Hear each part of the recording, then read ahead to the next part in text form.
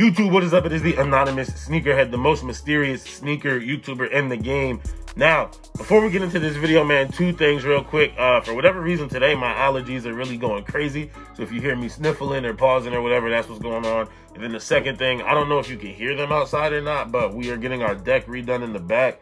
So uh, you may hear some banging or construction sounds or whatever. But that's all of that, man. Let's get into this video. But before we get into it, if you are new here, make sure that you go ahead, hit that subscribe button. Make sure um, to turn on your notification bell as well, man. We are growing. We just hit 1,500 subscribers, man. Thank you guys so, so much for showing the support. Also, if you want to continue to show support after you subscribe, all I ask is that you take the one second to go ahead, smash that like button. Really helps with the algorithm, helps bring more people to the channel, um, which can help, um, obviously, grow if we get more subscribers. And then last but not least, go ahead and follow the Instagram at Anonymous Sneakerhead. You get a lot of information up there. First, poll stories, questions, kicks of the day, things like that. Now, without further ado, let's get into this video, man. So here we go. You guys read the title. You saw the thumbnail. You know what it is. Here is the box. You guys see it right here. Everyone knows what it means when you see one of these boxes. It is an Air Jordan 1 box. Don't need to spend too much time on that. Now, in this box, we have a Air Jordan 1 Retro High OG, and the colorway is black smoke gray, and white. I'm surprised they put white in the colorway, but it is what it is. Um, and this is a size 12, so it is my personal pair. Now, I already have the shoes out of the box right here because I like reviewing the, the right shoe and the left shoe is the first shoe you always get out of Nike boxes. But whatever, enough of that. Here it is the Air Jordan 1 Shadow 2.0.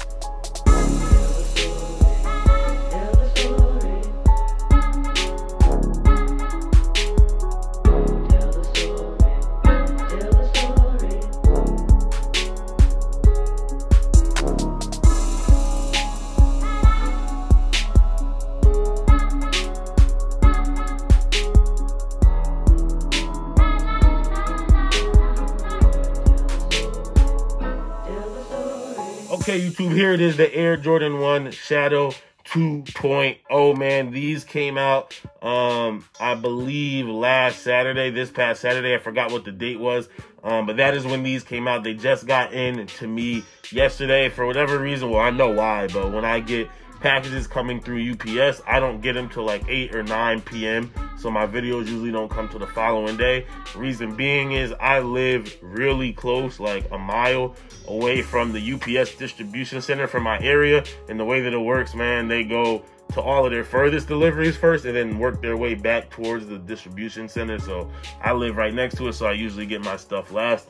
Um, but it is what it is. I still got them in hand. And yo, this is a dope, dope colorway, man. Now, if you guys follow my Instagram, you would have seen that I posted it and said that I had some mixed feelings about it. But I'll get into that really, really quick. Um, but just a real quick overview of the shoe. We'll start with the outsole, regular Jordan 1 outsole, black outsole, nothing special there, white midsole. Now when we get to the upper, this is where things get interesting. So we have coming around the toe right here, up the laces and around the heel and even the swoosh, we have this gray color. Um, this shadow color. Now it is lighter than the original shadow um, Jordan 1s, but once again, we'll get into that comparison in a little bit. Um, but we do have black on the toe box, black on the quarter, a black tongue, and a black heel. Um, now, the one thing, the reason why I'm a little uh, offish about this shoe is the material choice. Um, not just material choice, but quality choice of the materials. So material choice is, this is basically the same um, as the UNC ones that released earlier this year. Um, I sold my UNC ones to get UNC 4s, but it's the same like layout material wise, like suede around here or nubuck, whatever you want to call it. I'm pretty sure the ones were nubuck. This is nubuck as well. Leather on the toe, leather on the quarter, suede, suede, suede, right? Same material layout, not the same color block, and those were blocked like Chicago's. This is blocked like the reverse bread. Um, and I'm gonna call these the reverse breads. It's easier to say reverse bread than or reverse shadow, I mean, the shadow 2.0. Because if you just look at this shoe, right? Look at this shoe and then look at the shadow. Now, look at the bread 2.0 and then look at the original bread. They're both blocked the same way, so I'm gonna call this a reverse shadow. Um, but I'm gonna get into why I don't love this sneaker. I really, really, really like it. I won't say I love it. Um, and that is because of the materials, man. So first of all, the best part about the original Shadow is its wearability. It's super, super wearable. Obviously, black and gray, you can wear with anything black, gray, black, silver, whatever. You can wear that stuff with anything. But the fact that it's an all leather, the original, the fact that it's an all leather Air Jordan 1 that's black and gray, you can wear it with anything, clean it super easily, keep it looking fresh, right? These have the nubuck, which dirties a lot easier, man. It's harder, it's easier to stain. And for a shoe that I would like to wear much, much more, it's just a little bit weird, you know what I'm saying? Also, um, there is theoretically a all leather pair of these floating around somewhere way, way back. Apparently, when the original Shadows came out, there was another unreleased Shadow that was blocked like this and it was all leather. Um, but like I said, this nubuck, the suede material stains super easy. You're gonna have to prep it, make sure it um it stays as waterproof and stain proof as possible. Um, so I can't wear it a lot because I do play. I do see myself wearing these a good amount. Um, just because of the the simpleness of the colorway. Um, if you're a Raider fan, I'm sure you would love these as well. But like I said, just the nubuck throws me off a little bit. Once again, the UNC ones, same type of material blocking, but you're not gonna wear the UNC ones as much as you'll wear these. You know what I mean? These will get a lot more wear than a pair of UNC ones. Um, now over to the actual quality of the shoe. Very, very, very disappointed um, in the quality of the shoe. Now, for the most part, we know Jordan 1 leather isn't the greatest. I'm actually going to pull out two Jordan 1s that I like to talk about when I talk about Jordan 1 quality. That's my Bloodline, and that is my, uh, can I reach it from here? My Court Purple. Here it is. So we're just going to look at quality, right? So I always pull out the bloodline because to me, this is some of the best quality you'll see on the Jordan 1. Now, I do have like a crease protector in here, so you're not going to see the push as much, but you guys can just see the tumble on the leather all the way around. Really, really great quality, even on these parts of the shoe, where the quality is usually lacking on the black parts of the shoe, right? You know what I'm saying? Still super, super soft, which tells me because a lot of people will be like, oh, it's black leather. They can't make it that soft. They can't make it tumble. Well, they made the black leather on the bloodline super, super soft, right?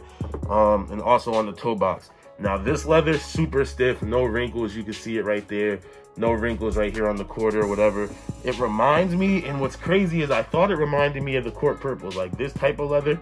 Um, but the leather is not even as good as it is on the court purples, which is weird, right?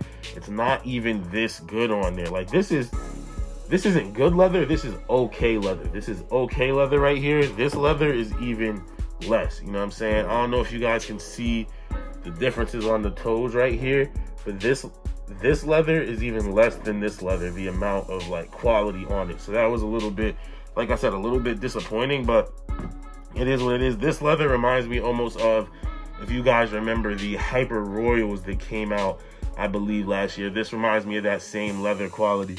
Um, also, just real quick, now that I have the court purples out, um, I know a lot of people hated this right here with the court purples, and I believe I know the Hyper Royals had it. I believe the uh, what else? What else? What else? Court purples had it. Hyper Royals had it. Pine Green 2.0s had it had that leather tab right there, and everyone was saying, "Oh, well, maybe that's why those shoes are 270 or sorry, 170. That's why they moved them up ten dollars from the 160." And I told y'all back then, Nike's gonna finesse y'all and slowly stop using that leather tab. Um, I know a lot of people didn't like the leather tab anyway, but it's back to nylon on here on the black tongue. You know what I'm saying? But um, at the end of the day, y'all, this isn't like colorway wise, it's a dope shoe. It's very wearable as far as making outfits with, but I would just be a little bit careful beating it up too, too much, just like I said, because of the nubuck. Like even a court purple or a bloodline, like you could beat these up or whatever, they're leather and you can wash them really easily. I would just be careful beating it up with the nubuck too, too much, man. But yo, at the end of the day, it is a dope sneaker. Um, and they're not reselling for a ridiculous amount of money. I mean, every Jordan 1 resells, but um, I actually did check because a lot of times I don't check and I, I, forget to tell you guys when you get in the video. I know a lot of you guys care about that stuff. Um, but last time I checked, these were only going for around 260 which is less than $100 over retail. So definitely get your hands on a pair if you do want them. Um, and then also, I always review the right shoe just because camera angles, always sit on this side. So camera angles, always review the right shoe. But here we go. I'll pick up the left shoe so you guys can see it. Um, we do get another pair of gray laces or shadow laces, I guess you could call it, with the shoe. Now, if I were to lace these up, I would probably keep the black laces in just to keep the whole black tongue look. But that's just me. I know now you guys who follow my Instagram know this, right?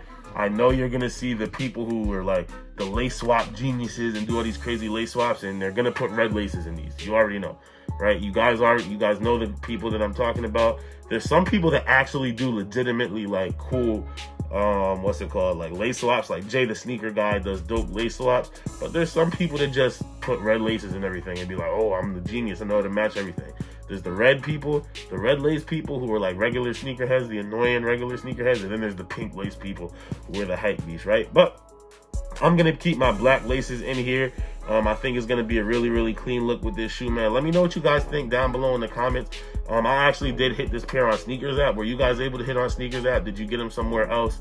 Um, me, once again, like I said, let me know what you guys think down below in the comments. But that is it for this video, you guys. I am the Anonymous Sneakerhead. If you are new here, make sure that you go ahead and hit that subscribe button. Join the Anonymous Sneakerhead family. Join the channel. Um, let's keep on growing. Let's go ahead and hit 2,000 subscribers now. Um, you know what I'm saying? Also, if you already are subscribed and you want to show support, just take the one second to go ahead and smash that like button. It really helps with the algorithms, helps bring more people to the channel. And then last but not least, go ahead and follow the Instagram at Anonymous Sneakerhead. You get a lot of information up there first polls, stories, questions, kicks of the day, all of that stuff. Um, but that is it for this video, you guys. I am the most mysterious sneaker YouTuber in the game. And as always, it's all about the sneakers.